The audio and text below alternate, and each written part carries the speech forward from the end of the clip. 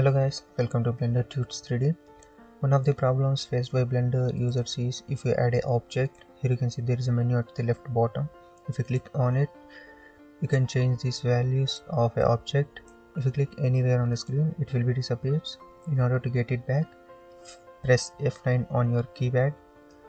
And the important thing is it will brings only the last object menu that you have edited